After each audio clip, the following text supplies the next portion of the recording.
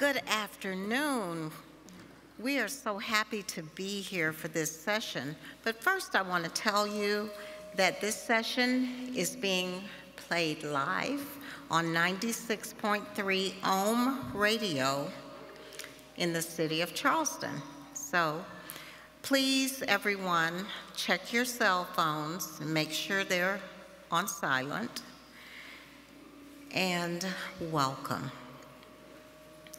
First, I want to thank our sponsors for this session, Summer and Clyde Anderson, South Carolina Humanities, and Pat and Jim Moreno, and Deborah and William Kennard for their contribution to help students attend these sessions.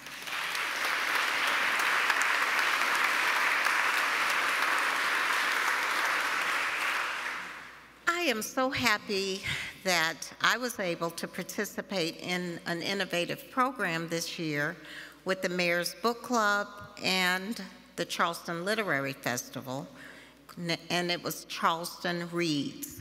And we used Dr. Perry's book to read across Charleston. But not only did we read across Charleston, we connected with Oakwood University, my alma mater, because Dr. Perry's family is from Huntsville, where Oakwood is located, and she wrote almost a chapter on Oakwood and Huntsville. So Dr.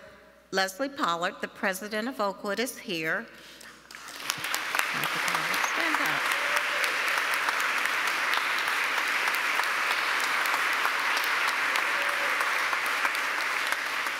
Along with students, his communication students. Where are you students? Please stand. And their deans.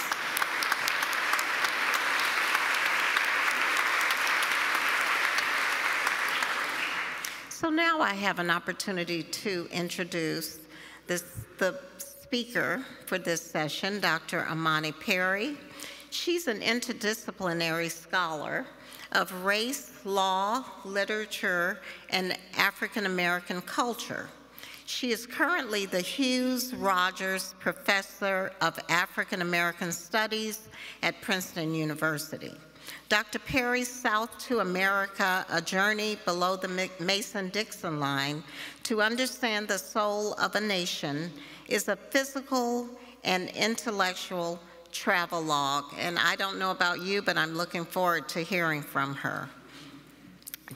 And the moderator is Dr. Tamara Butler.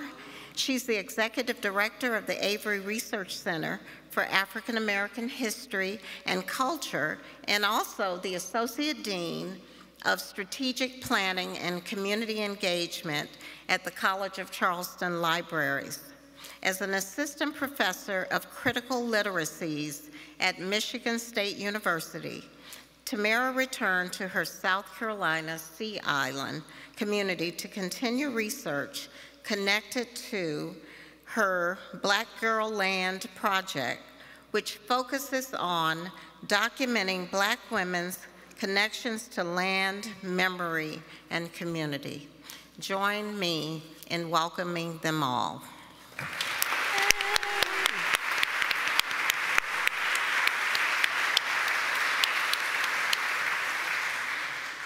Hello, everyone. Oh, I'm glad I didn't say anything earlier. I was like, this is a hot mic that I'm sitting on. So I want to welcome you all to tonight's conversation. Um, I'm very grateful to Charleston uh, Literary Festival for including me in this session. Uh, deep down inside, I don't think Dr. Perry knows this, but I'm fangirling just a little bit. Um, because I, every, any student that came through my, my doors knew um, and read Vexy Thing. So they had, there was a book that I had to recommend. I think there's probably a student even here um, somewhere who had to read Vexy Thing. So, um, and she's an author of several books. So we're going to get into this first one. So thank you for being here. No, thank you. I'm so delighted to be here. Yay. All right.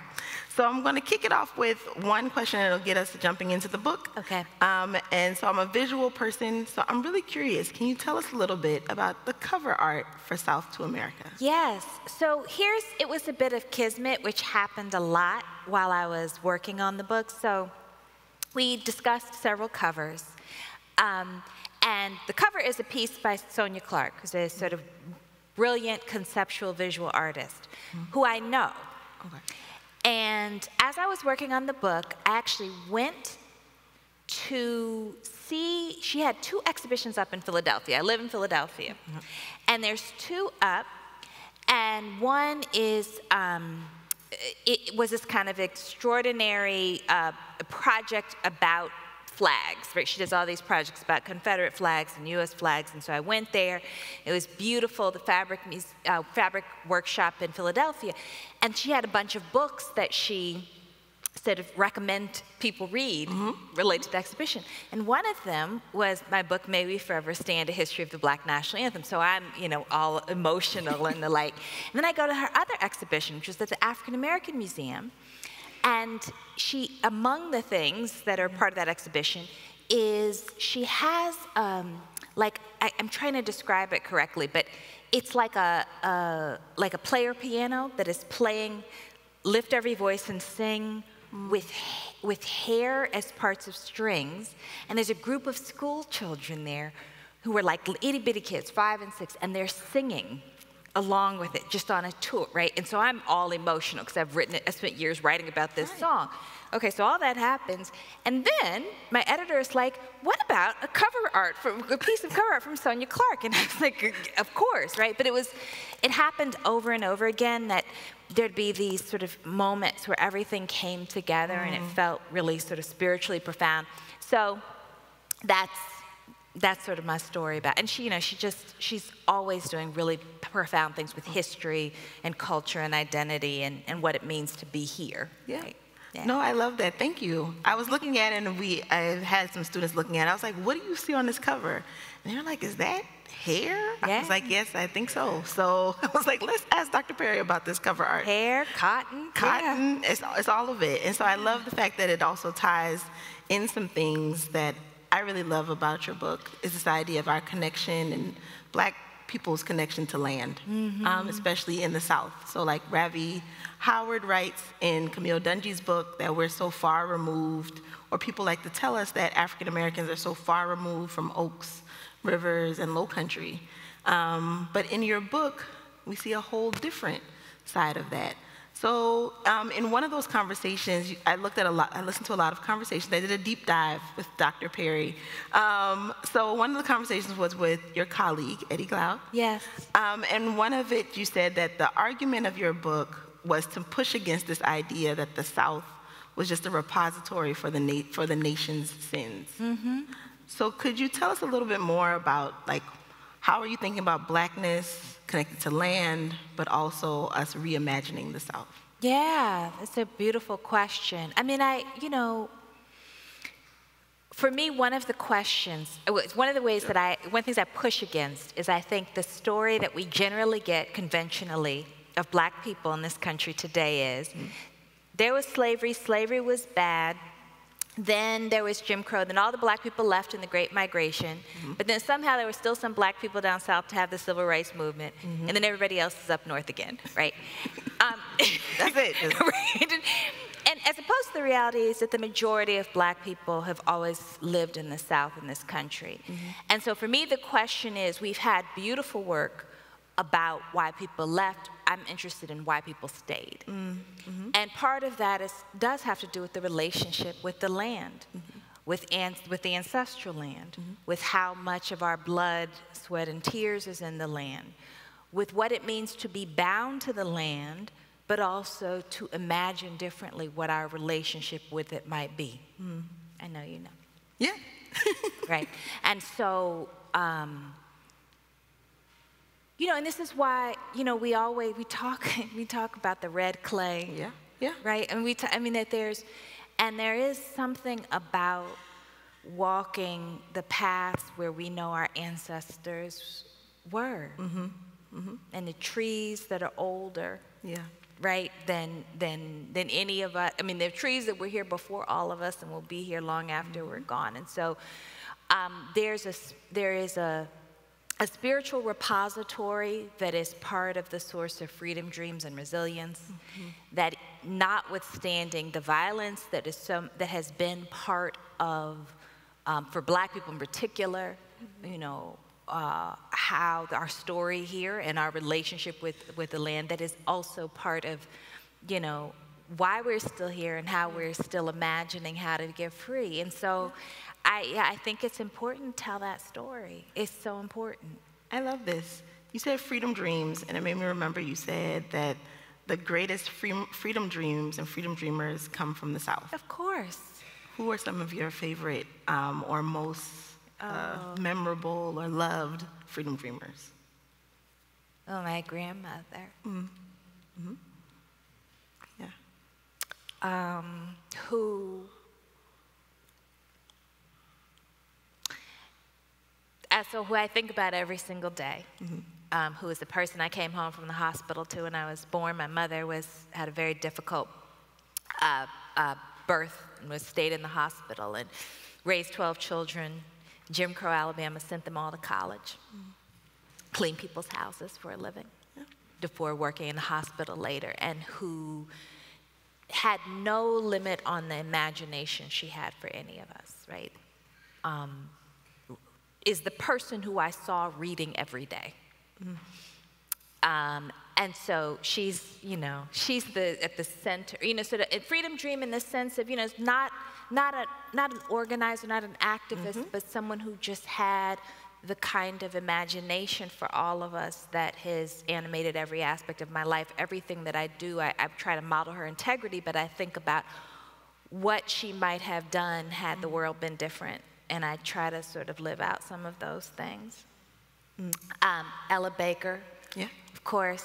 Miss Baker, when, um, when, I, when I knew her, she uh, had, um, you know, the, it was the end stages of her life and had dementia. And at times, Bob Moses, who was, who was the, the, the organizer from SNCC, was the architect of, of Freedom Summer, used to have me come by and he used to come take Miss Baker to the park. And so I would take her to the park and sit on the bench with her. And I, as a child, I understood that that was uh, a sign of a sense of, a very traditional sense of responsibility. You know, little black girls are expected to tend to people. Mm-hmm. Um, but that that was, the responsibility was even heightened because she was so important for our, all of our freedom, yeah. you know? And so, yeah, so, so people, um, of course, Fannie Lou Hamer. I mean, just, I mean it's, it's so many, but I, I really wanna, I wanted to backtrack and thank you for thinking about your grandmother um, and letting her guide you through this project um, and sharing her with us. And so I just wanted to say thank you for that. Thank you. As a writer, you also give a lot of um, folks a different kind of hope for how to write, right? Because mm-hmm. I think so often um, academics are taught that you have to cite this person, you know, this scholar only and this scholar only, but you have managed to find a way to weave the everyday mm. person into part of the story, mm. right? As not just part of the story, but as you said, as central to the story. And so I want to thank you for. Oh, thank you. Giving us permission to do that. That's the dream, you know? And so one of my questions, I'm going back, I'm going to borrow a lot of questions from Eddie, right? So, okay. the, so I'm going to borrow, because he asked the question, I was like, man, I really wish he would answer that question. Um, of, so he said, you know, what does it take in order for us to tell the story of how we got here, right? That was one of the questions. But I want to flip the question and say, what is required? So as a storyteller, you offer us a whole new method, right? And sometimes it's disorienting and sometimes like, yeah. wait a minute, how did we get back to, we were just in, you know, Dr. Evans' house and now we're over here on a post postcard and we're this place. So I just asked this question of like, what is required to tell the story? Like, mm-hmm. how do we tell the story of how we got here? What do you think it took? What did it look like for you to write yeah. the story? It, well, I say one thing that is absolutely required is that I could not write a conventional academic book mm-hmm. in the sense that um, there's a piece of the story that is very dependent upon research, traditional research, right? Like historical research, um, looking through documents and data. Mm-hmm. Right? And then there's the piece that is um, uh, what I've described in other work as trying to catch a feeling of something, mm-hmm. right? That has to do with familiarity and love and repetition and what you know and the quiet, the silences that, that if you are familiar with the place that you can read. Mm-hmm. And so I knew I had to be able that was so important to this story that I couldn't write in a way that where that would be misfitted. Mm-hmm. So for me, the way to tell the story is, I, am okay. I'm going to physically walk. I had so many maps. I had, I had old-fashioned atlases that I used for writing this book. I have tons of them, right? And I mm-hmm. just go through all of these atlases. And I would say, okay, well, if I'm here, right, if I walk down this road, what are all the things that I'm going to find on this road, right? Mm-hmm. And with atlases, there's layered history, right? So that's a little that's a little insider, um, you know. So I know what was there before. So then it it gave me an access point. So if I have an encounter with somebody, and inevitably, because part of the reason I love being in the South is because people will talk to you, yeah. right? Yeah. and so, you know, and I'm and I I'm shy, but I love one-on-one, mm-hmm. right? So like, so I'm I'm happy when people will talk to me. But you also know because we tend to have. Um, elliptical conversations. So you yeah. know there's some topics that are going to keep coming up. Right. right. Yeah. So it's a good setup for writing a book, right? Because you know there's some things that are going to come to the conversation. Right. Right. And then that is an entry point to telling history, right? And it, so it's, the book reads as like associative, like I'm jumping here, I'm jumping here, there, but it's always sort of pre-planned mm. as an architecture to let you get to the like heart and soul of the interaction and then underneath the ground mm. where I am, right? And I think that that's how we have to tell the story, mm-hmm. right? Because it is a complicated story about global history, politics, power, the production of wealth, mm-hmm. disenfranchisement, resilience, love, land, and, and, and, and the beauty of the landscape. Yeah. All of those yeah. things have to be in it, right? And mm-hmm. so you mm-hmm. can't, like, you know, if I tried to tell that in a conventional narrative, people would be bored. Yeah right? First, it's going to tell you what happened in this year, and then they had, you know, this crop, and then this. It doesn't, you know, you have so you have to like kind of mix it up. Yeah. Yeah. No, I appreciated that. I mean, I think there's a moment in the book where I feel like, uh, like it feels, I feel very science fictiony, and kind of like I'm doing a little time jump. Yeah. Every now and then, so I appreciated. I appreciate it. Felt almost like maybe double dutch. Like there was a you could yeah. Oh, in and out. So I appreciate that. That's a you can take that one. I love that. Because I was thinking quilting, but double dutch is a much better metaphor. I mean, because there's parts of the books that you really do jump in, you're into jump, a yeah. place and you jump out, and so take turns. And here's the secret, okay. because I can't jump double. Me. And part of the reason I can't jump double is because, you know, if you swing double-handed, you can't, you don't get turns to jump. And so I'm not a very good, this is a this is obviously an 11 year old trauma. Gotcha. But since I can't swing very well, so I'm not good. So I love the metaphor because it makes me feel like I have now learned to. Yes, you, that's it. You're the double dutch of of the word. So I appreciate it. I think my next question is going to be uh, asking a little bit about since you talked about atlases. How did you choose your places, your locations? Yeah. So um, I try to choose locations uh, well, I'll say first, strategically to capture the different um, Souths, plural, mm-hmm. um, which had a lot to do with different industries in different locations, right? So I wanted to, you know, so so mining and where, you know, tobacco and indigo, cotton, right? Like mm-hmm. those types of, and then um, you know, steel mills and um, and also and also tourism, right? Mm-hmm. So that was that was part of it. Um, and then there's diff the different, and layered onto that, different languages and uh, sort of cultural distinctions. And also, I was thinking a lot about roads. Mm. Now, roads fell out because of COVID, because there were some drives that I was going to take that I couldn't mm. take. Okay. So, like, so for example, I mean, I don't even, I don't have to show this hand. I'm gonna show it, but I was okay. going to re, I, I hadn't driven out I-10 for a very, very long time. So I was gonna go out I-10 again. Mm-hmm. So, and, and, you know, it was this 20, 65, like I had a whole sort of like, you know, map of, of driving that was also going to have as part of the motif the highway programs and, and what happened to black communities and the like. So that fell out. Okay. Right? So, you know, so, but part of what happened that was good is that in you know, complicated, but good is that um, because of some places I couldn't go to and I dropped out, I actually then wound up relying on memory in different mm. ways. And one of the things, I don't know if other people experience this, but in the context of COVID, memory was very strange. Mm-hmm. Um, so I would, I would start to have these floods of very vivid memories mm. of people and places that I had experienced, I think, because of the complete isolation. Mm-hmm. And so some of that actually wound up much more in the book than was previously planned, which I actually wound up liking. Yeah. Yeah, so. Well, we like it too. Thank uh, you. It's a New York Times bestseller, right? So it's just, you know, just saying, somebody loves it. Somebody liked it. Somebody loves it. So one of the things, so you brought up this idea, you said Souths. Yes. So I'm gonna go back to that because I remember you. I remember hearing you say in a conversation that there were Easter eggs, and so I was like, I feel like that was an Easter egg. Yeah. Uh, let's go back and talk about Souths, right? How are you defining South? What is South?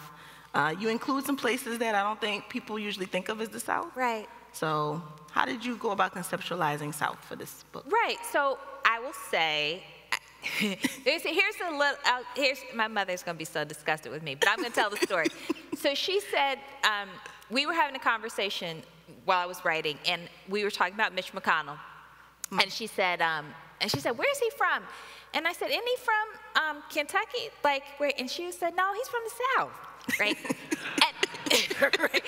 so I, so I say that as a way of saying something about a certain kind of Alabama bias about what constitutes the South, right? We refer to North Carolina as upstate. Mm-hmm. That's it, you know, and, and so, right, he's, and we, well, Mitch McConnell's from Alabama, but anyway. Oh. Um, but the point being, and you know, is that I was actually trying to, as I was writing, to challenge myself mm. in what I meant um, in a lot of different ways. So, so one was this part of why I started in Appalachias is because it's like this is not a place that is familiar to me in the way that Deep South locations are. Mm -hmm. I also was challenging myself because as much as, um, you know, Alabama's familiar, Mississippi, it, it, the Black Belt is not familiar to me, mm. right? Even though when we say the South, as a sort of metaphor, as a symbol. That's usually what people mean.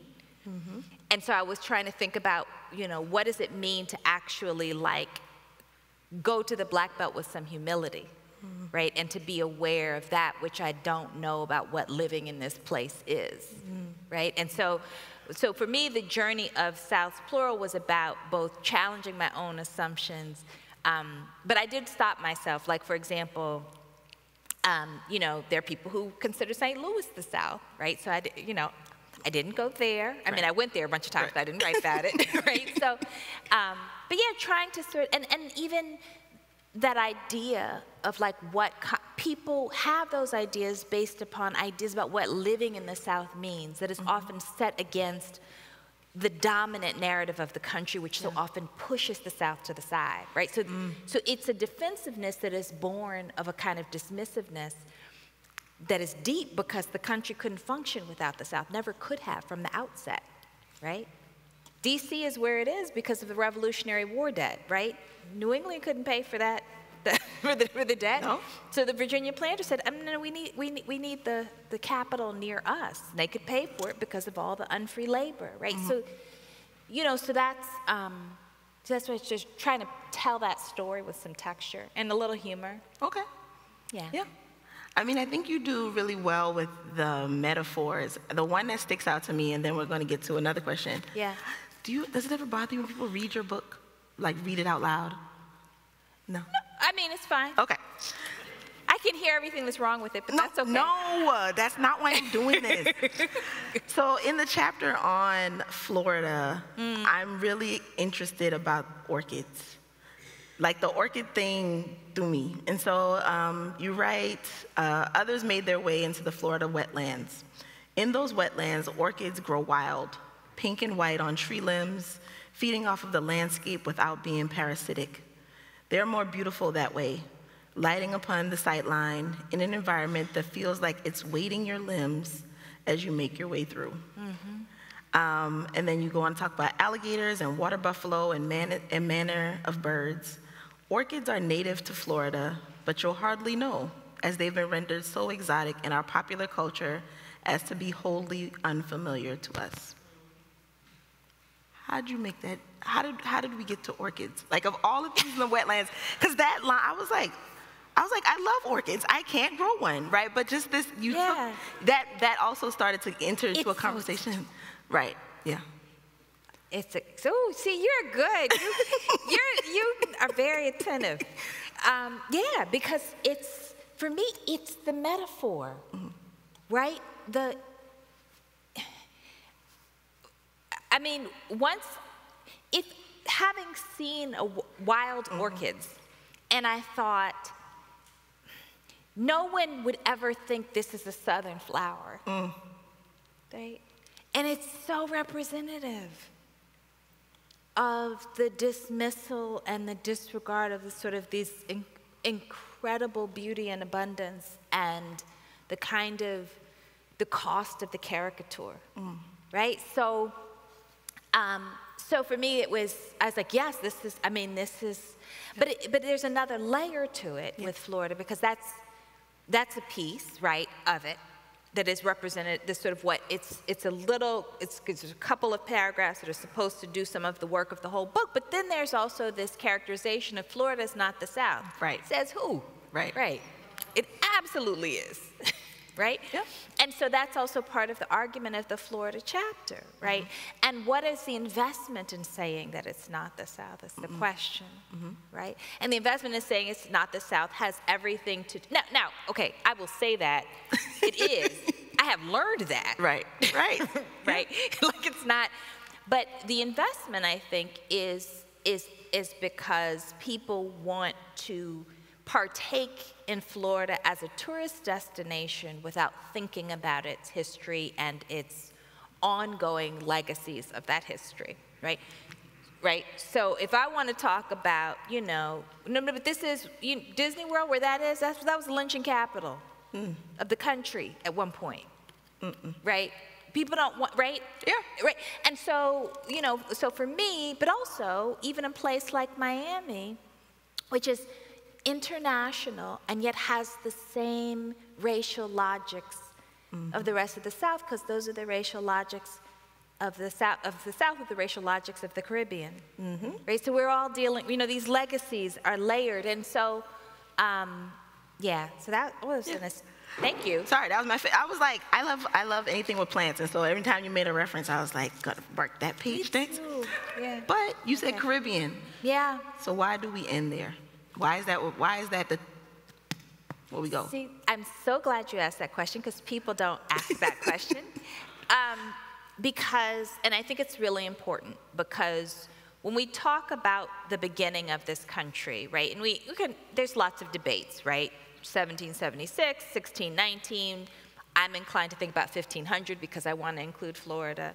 Um, you know, the, the story is one of the European, of European explorers jockeying from different empires, trying to use this land to expand their empires, to take advantage of the abundance here, and then what happens in that encounter with indigenous people, with African labor. Um, that story is important from the beginning because the ways of being and this is the you know the big underlying argument. The ways of being in relationship to each other the way in which um, heartbreakingly innovation is tied to exploitation in this in this culture it, it, it- starts there right? So that the caribbean and the southern united states that was the same region. Those were not the, the distinctions that are drawn are more recent political history, but they, they were settled for the same purposes and, and bear so much. And it's, I mean, in South Carolina, this is more apparent because of the relationship between Barbados and South Carolina. Less, less part of the reason I wanted to talk about the Bahamas is that there's less attention to how much of the Bahamas was settled by people from South mm-hmm. Carolina, right? and this intersection of people from South Carolina and Haiti that happens there. You know, I, so it started with me just, I, first time I went to the Bahamas, I was like, how, why do they eat grits for breakfast? Just was so puzzled, right? I was like, how did this happen? Yeah. And then, you know, it becomes this path of discovery, and you just these, um, I think there's something so precious about unearthing, um, you know, these, these roots of connection, these sort of submerged histories. I think it helps us um, be more empathetic and decent, right? It brings us, I, I think that brings us closer to the possibility of living in the mm-hmm. beloved community. Mm-hmm. But it also opens up conversations. Maybe we should tell the story of who we are differently. Mm-hmm. What if we, what are the different ways we could tell the story? I think I believe I'm a person who believes that history has uses, and the most important use is to actually imagine how we want to be in the present and future um, in ways that are decent and kind and just. And so I want to look for historical stories that help us be better. Mm, hmm Yeah. Yeah, I love that answer. Thank you. Well, you said South Carolina and you said Bahamas, because that was actually going to be my next question. Was going to ask. So you decided to start this chapter and name the chapter. Well, A is the Low Country, but then it's also home of flying Africans. Yeah. Um, so I, the first person that came to my mind when I read that chapter is Miss Ruth Retired Rambo, who always said she would correct me. She was like, "No, we are the descendants of the amazing Africans." Right? Like I would say something, she'd be like, "Amazing Africans." I was like, "All right, got you." Got I you, like Rambo." Um, so thinking about this idea of why would you want to start? You started that chapter there. How do we carry the flying Africans with us through that chapter, or how do they inform that chapter for you? So I will say they they inform the chapter, but they inform um, hmm, they inform, and this is very personal identity for me. Okay. Right. This is Virginia Hamilton's "The People Could Fly" is one of the most important books from my childhood. Um, and part of the reason it was so important is that there wasn't much, you know, so I was born in 1972. Um, there were books about, there was a sort of small growing body of books that sort of were connect, were to connect African Americans with the West African heritage, but there wasn't much about what it meant for us to be descent, descended from Africans, you know, this sort of this sense of a, a connection that was active and contemplating what it meant to, to, to come here and then to survive, but also to try to hold on. Um, and so, so th- I mean, in some ways, so that's the heart of it. Is that, I- and, and you know, for those of you who haven't gotten to the end of the book, part of this, it is really important as a through line that Africa remains here. Right. This is, you know, so we're we're very clear. I mean, we're in, we're in Charleston, so are. people know that Right. here, right? It's the, this is, it's a different thing to say than some places, but um, in throughout the country, you know, Great Britain is very clear, right? Um, some of you are in the Southwest, you know, the history of Spain, but it's also this is a place that is so indelibly shaped by African people, past and present, sensibilities, aesthetics, um, and particularly to the extent that I'm talking about freedom dreams of all sorts, right? I don't know if, any, if anybody has seen this sort of stunning documentary on the history of country music, um, that six-part series, but it part of what's so beautiful about it is that it it, it talks about that, right? The freedom dreams are not, they're black folks' freedom dreams, but they're actually freedom dreams, period, Right. right? That Right. actually, that had this sort of, um, that breathed life into anybody who was trying to imagine a different kind of way of being in this country in this history. So, yeah, so, I'll take it. Okay. I was gonna say, because there's also a, a question that rose in my mind is, so if you, for those of you who haven't gotten to the Low Country chapter, it's a little bit of a spoiler alert. We take Oh. a drive. Oh, right? yes. So we go for a oh. drive. Yeah, we take, Oh, a, that- we, take a drive, we take a drive down some streets, and we end up in front of Emmanuel, Mother Emmanuel, right? And we are looking at and Liberty Square. Where would you want to continue if you were to grow that to take that chapter forward? Is there any place else that you would want people to to land in Charleston if they were to keep going? Oh, I don't know. Where, well, um, let me ask you. Sure. I don't know.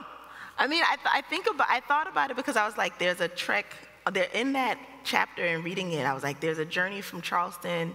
There's like, there's Ebo, I, there's Ebo Landing, Landing, yeah. right? There's Beaufort, there's Savannah, there's Charleston, and I was like, well, where will we go next? Right? If we're thinking about the low country and just thinking about flying Africans, I was like, there's so many sea islands. So you go to the island, yeah. Right. Or just, I was just, I was just curious of like, where would we, where would, Simon? yeah. Yeah, where, yeah, St. Helena's, which is really, um, Yeah. Barbados. Yeah. Yeah. Because I mean, you talked. a great question. Yeah, I mean, you talked about Vesey, talked about Denmark Vesey, and uh, and how children Yeah. possibly went to Cuba, right? And so, just thinking about this idea of like where, if we were to bring back in this concept of flying Africans, you get, you put, they come, they land in front of Mother Emmanuel. Where would they go next, right? Where else could we, if we were to take flight with them, where else could we go? Through this book, right? Through this chapter. So, he, okay, so this is a little bit off topic, but it, That's ma- what you said just made me think about it. So, you all know the story of Eliza Pinckney, who is this sort of indigo um, young, woman, young woman owner of a plantation who sort of made indigo prosperous for the first time in South Carolina. So I've been researching her because I'm writing about um, indigo, among other things, right now. And there's this little bit of the story that is not told in any of the official stories, which is, you know, she was really struggling to grow indigo. And, um, and, you know, and the stories tend to submerge all of the black people who are actually doing the work, but we'll, let's set that aside for a minute. But Yep. And so at some point, she, she brings in an overseer from a plantation, um, I can't remember where exactly, and he actually deliberately messes up the crop because he doesn't want to mess up, he, he doesn't want competition. I think, that- I think Montserrat. And then they bring in a, a, a- an enslaved, uh, they describe him as a, as a, as a black man from um, the French West Indies, right? And he comes in and he teaches her how to, how to grow indigo. right? And I'm fascinated by this because it, we don't know which island. We don't know Martinique, Guadeloupe, Saint Domingue. It doesn't specify. He has no name, right? And but there. So part of when you said that, I thought I want somebody to take me and show me who he was, right? Yeah. And because part of the thing, you know, this ongoing question is, what do we do with the names we don't have, mm. and the stories we don't have? And I'm really trying to ask that as a as a philosophical question, not just as a as a site of grief, Yeah. but actually how do we think about that, right? That there that there's a way to honor those who who who, who go unnamed, and that that I think we have to be deliberate about it. So, mm-hmm. Yeah. Thank you. Thanks. All right. So I can keep asking questions, but I feel like people have questions. And so I do want to, if we have audience members who have questions, you can, we see, I saw a hand, and I'm going to try my best to repeat the question. There might be, oh, there's Mike. There we go. Is the mic? It's a mic. Thank you for this book. Um, But I want to read a passage in your last chapter, right before the conclusion. I'd like to get your response on. Dreaming isn't dead, and I'm going to skip a couple lines. I believe writing can be moral, a moral instrument if it asks you to do more than read. How many times will you witness people being starved or worked to death, driven out of their homelands, moving on? When will you finally be repulsed enough to throw a wrench in the works? When will you allow curiosity and integrity to tip over into urgency? I'm asking you, I'm asking myself to dig deep enough for the truth to flood in. Let's sing those blues. And then in the margin, I put, let's mourn. And then I thought about A Raisin in the Sun and the scene involving Beneatha and Lena when Lena asked Beneatha, Have you cried for Walter? And so my question is one, did you have that in mind? And two, who are you, who is to you in what you're writing writing here in terms of mourning? Yeah. And we know that there's a gloriousness in the morning because joy comes in the morning. Uh-huh. And I'm not talking about M O R N, but M O U R N. Yeah. Joy comes in the morning. Yes. Oh, thank you.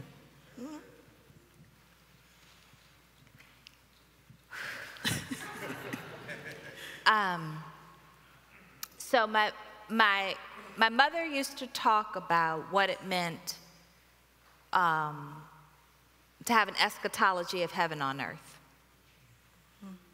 So the idea of joy coming in the morning being an imperative for us to actually make you know, to, to create different kinds of mornings. Right? Um, absolutely. I wrote a biography of Lorraine Hansberry for folks who don't know, looking Ooh. for Lorraine. And that is, if, if Hansberry had a theology, that was hers too. Right? Um, there's a scene in A Raisin in the Sun where uh, you know, there's several scenes where Beneatha, who is the, the, the, the young, sort of politically strident, aspirational, you know, doctor, want to, aspir aspiring to be a doctor, young woman who is in some ways an avatar for Lorraine herself, where she, in her hubris, is, you know, kind of rejects her mother's spirituality and, and dismisses her brother's desperation to try to make a meaningful life for himself. And her mother is, is, is you know, holding her feet to the fire.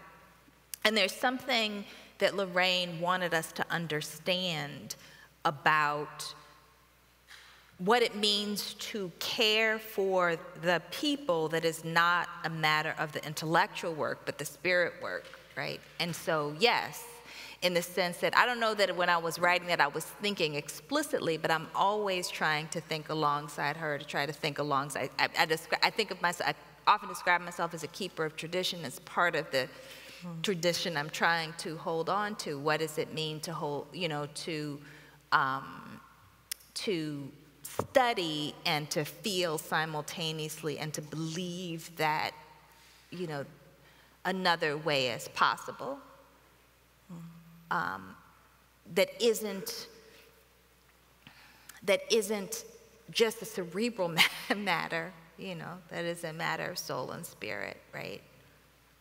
Yeah. Thank you for that. Thank you. We have a, we have two questions. We got well three questions. We got one in the back, one in the front, one on the left. Yes. Um, I've spent about 12 years trying to read Southern history to understand this place where I moved 12 years ago. And I, right before I read your book, I read Tony Horwitz's Spying on the South, which mm-hmm. you referred to in the book. Yeah. And I said, okay, I'm done. It's all about race. I don't need to read anymore. And then I read your book, and I was wrong. I was so wrong. Thank you so oh, much. Thank you. For bringing the feelings and the people and the places together in a perspective that I had not had before. Thank you.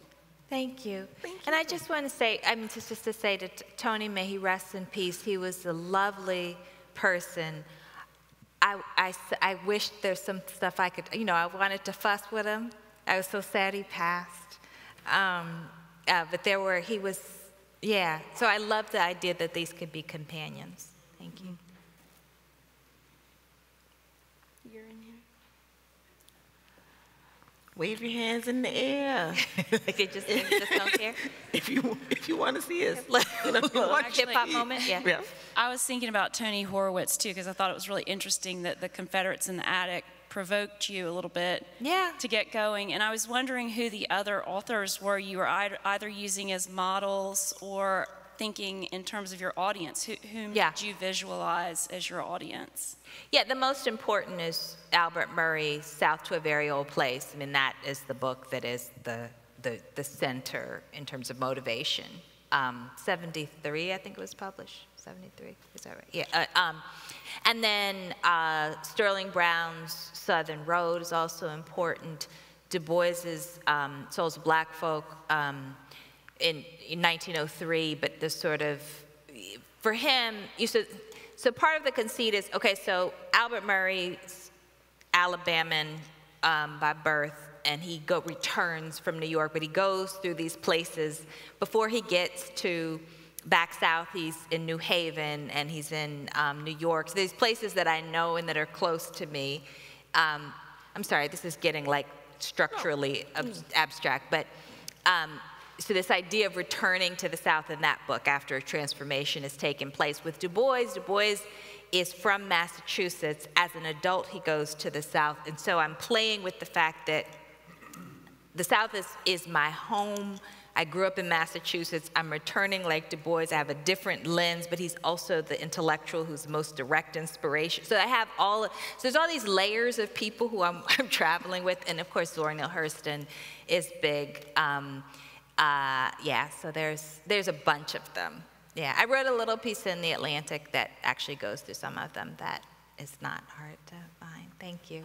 Question. We got a question here. Right here. In the front. We want to give it up for our, our mic mover working real yes. hard out here in these boots. thank, thank you very much for this amazing work. Uh, with our students who are here from Oakwood, I've often said you need to read this book because it reframes the South. It frames it on the one hand as perpetrator, but also as scapegoat for the country. It, am I being fair when I say that? Yes. Oh, okay, okay, okay. and saving grace. Please? And, and saving grace. And saving grace. And saving grace. So thank you very much. Uh, you mentioned Albert Murray. And there's a statement, you, you quoted him in the chapter on Alabama, and of course, we won't push back against all these wonderful things that are happening in South Carolina, um, because when you come to Alabama, you'll be able to talk about Alabama as much as you've talked about South Carolina. Um, so, but, but that said, th there was a statement that as I was reading your book, it just, I said, wow. In, in my life, having traveled to more than 60 different countries, this statement caught me. So I'll, I'll quote it, and I'd like to ask you to elaborate upon it. Albert Murray said, and this is in your chapter on Alabama American culture, even in its most rigidly segregated precincts, is patently and irrevocably composite. But that's not the part that caught me. This part from Murray.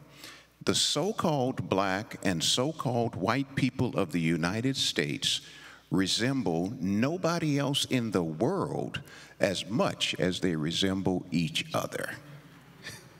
Would you unpack that? I mean, that's profound. yeah.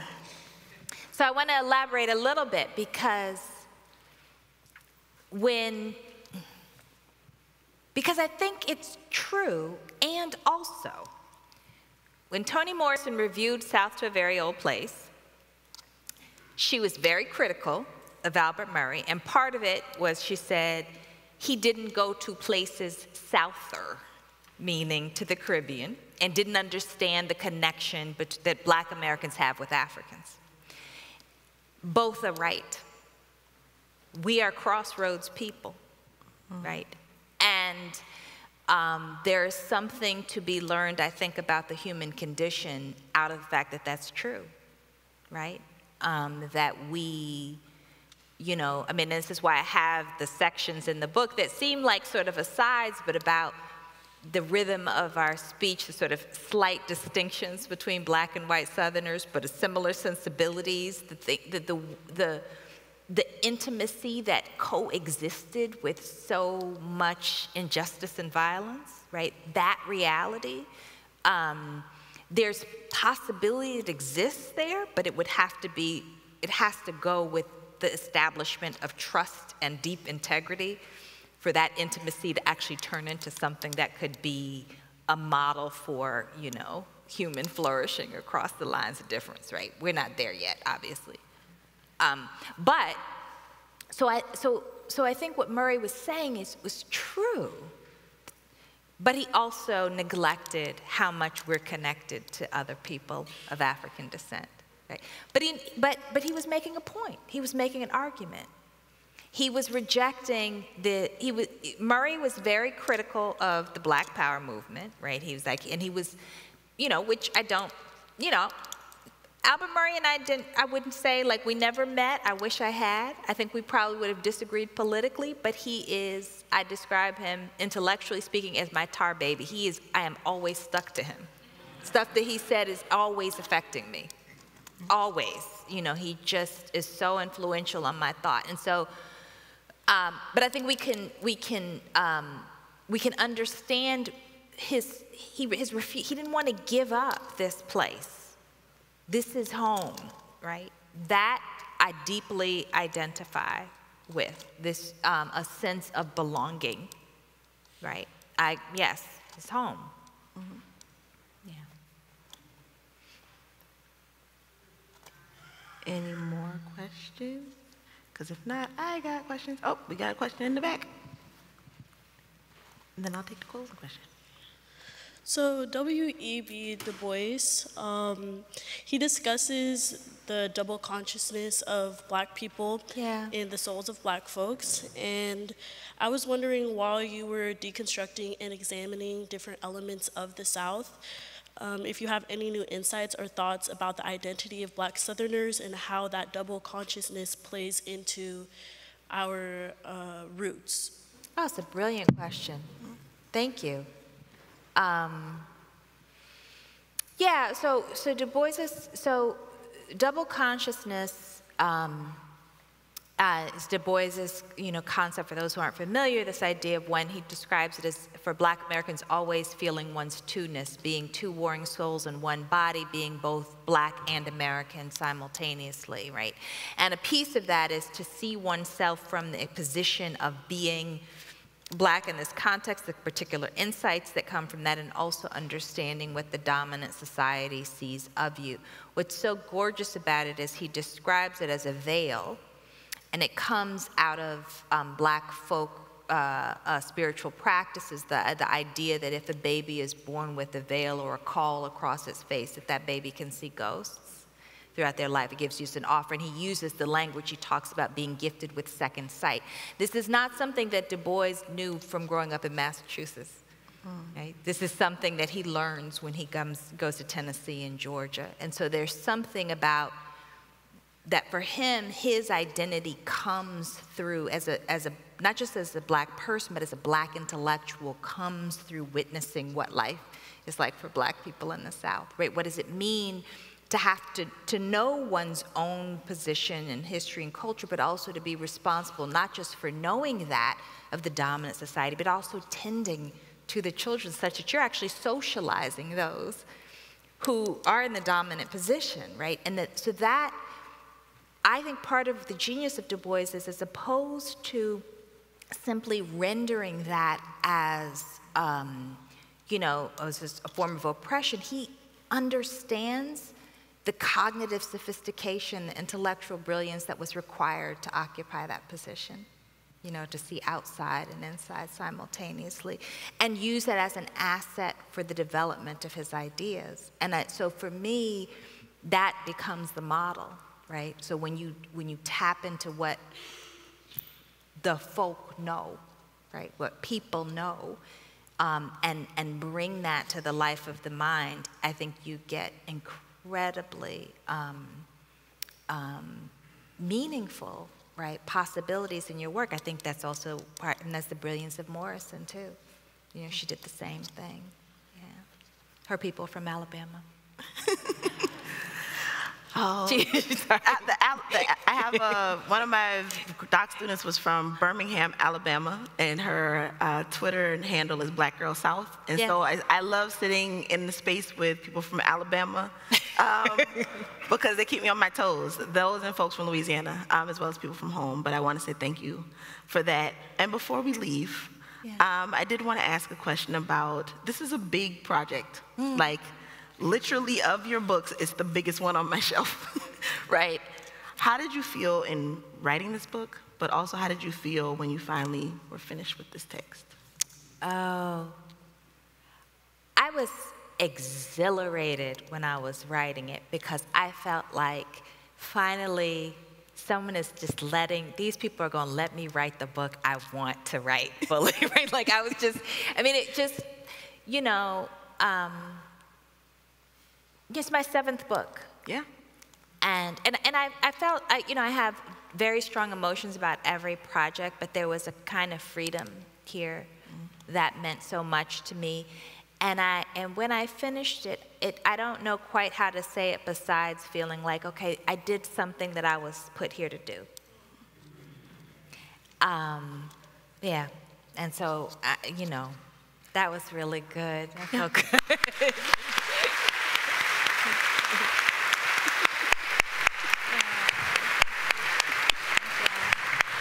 Thank you both.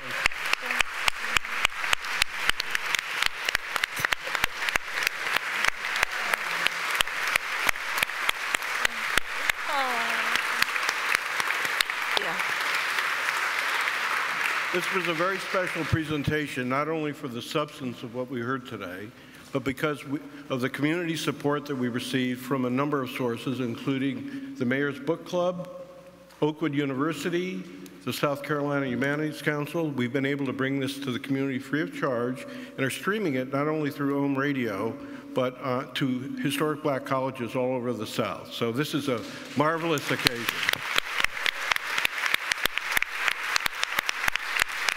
I want to remind everybody that Dr. Perry's book is for sale behind us here, and please buy copiously. Thank.